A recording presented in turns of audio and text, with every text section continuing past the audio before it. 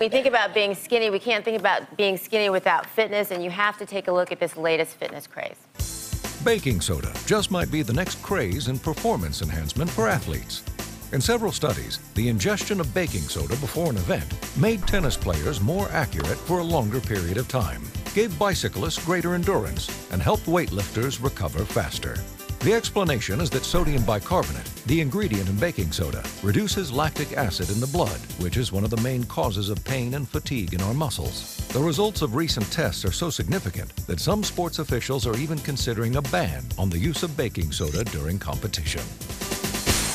Isn't that amazing? Baking soda can actually, they've shown, um, especially in studies in China, can increase your stamina and exercise. And they looked at tennis players, and that, that video actually explained it very nicely about the lactic acid and how they think the um, al- alkalinizing it by making it more basic, that can actually decrease it and give your muscles more energy. You know, don't- Travis, Travis and I are big cyclists, and I, you know, every summer I do a, a mountain bike racing uh, series, and I, you know, that's what one of the things that slows you down is that that lactic, Lactic acid, acid. building up in your muscles. It's that pain, that burning you feel, and that's what really causes fatigue. And it's kind of cool that.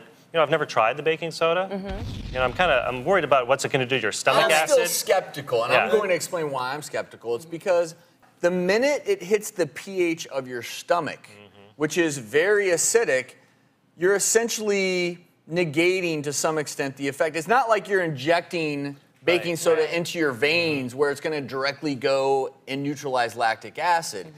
So, I, you know, I, I think these studies are encouraging. I think Yeah. if you want to give it a whirl, why not? I still am struggling a little bit with how drinking it, where it goes into this really acidic environment of your stomach, is going to And affect your mouth, too. blood. I mean, Well, you it's gonna. I mean, It's I think it's gonna just maybe just change the acid Subtle. balance Yeah, of your body little just a little yeah. bit. And it may. to- and and that's it showed. You know, I guess it lowered the lactic acid mm-hmm. levels in these athletes. I'm a little I mean, enough that they wanna take I it mean, out you of could overdose on this. Yeah, and that's the and, thing. and create an alkalosis. It is important. can, if you do because too if you do drink something that lowers your the, the acid in your stomach, your stomach then gets the signal to make more acid. So you get this rebound. Also good for stomach aches and brushing your teeth.